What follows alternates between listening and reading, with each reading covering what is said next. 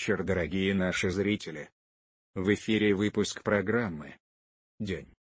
Люди. События. День 2 марта. 2 марта 1930 года в газете «Правда» была опубликована статья Сталина «Головокружение от успехов о перегибах на местах, допущенных при коллективизации». В ней Сталин осудил многочисленные случаи нарушения принципа добровольности при организации колхозов. Он критиковал излишнюю ретивость в деле раскулачивания, жертвами которого стали многие середняки. Вся ответственность за допущенные ошибки возлагалась на местное руководство. Надо сказать, что решение задачи коллективизации осуществлялось за счет раскулачивания не только кулаков, но и середняков. Насилие являлось основным методом объединения в колхозы. Крестьянство на этот шаг ответило массовым недовольством и открытыми выступлениями.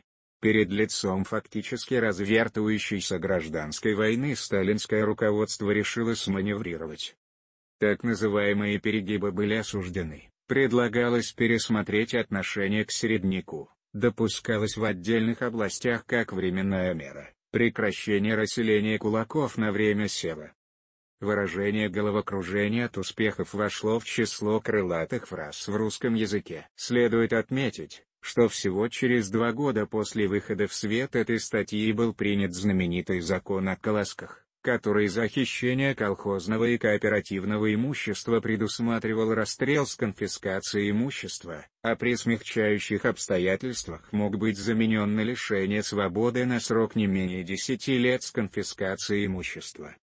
В качестве меры судебной репрессии по делам об охране колхозов и колхозников от насилия угроз со стороны кулацких элементов предусматривалось лишение свободы на срок от 5 до 10 лет с заключением в ГУЛАГ.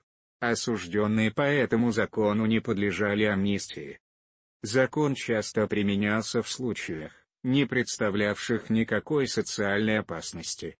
Название закона о колосках он получил из-за того, что по нему осуждались крестьяне, из-за голода срезавшие неспелые колосья зерновых колхозного или совхозного поля.